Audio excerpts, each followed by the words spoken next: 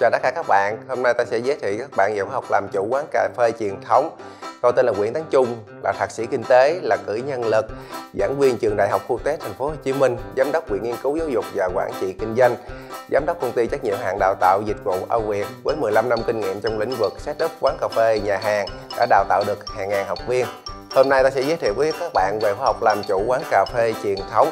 Học khóa học này các bạn sẽ làm được việc chọn được vị trí kinh doanh, thuê mặt bằng hợp lý, lập được kế hoạch kinh doanh, cách tính chi phí trong kinh doanh, chọn hướng tốt kinh doanh theo phong thủy, nắm vững các dụng cụ, thiết bị quầy bar để mở quán cà phê, cách set up quầy bar, cách xây dựng menu cho quán cà phê, cách huy động vốn, soạn thảo hợp đồng thuê nhà, làm việc với nhà cung cấp nguyên liệu và tài trợ, pha chế các loại thức uống thông dụng trong quán cà phê, cách làm các chương trình marketing.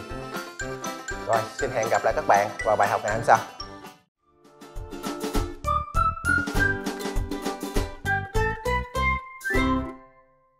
Lợi ích khi học online trên Unica, học mọi lúc mọi nơi chỉ với một chiếc laptop hoặc mobi kết nối Internet. Mua một lần, bạn được sở hữu khóa học trọn đời. Bạn có thể xem đi xem lại cho đến khi thành thạo. Vừa học vừa thực hành, hỏi đáp trực tiếp với giảng viên.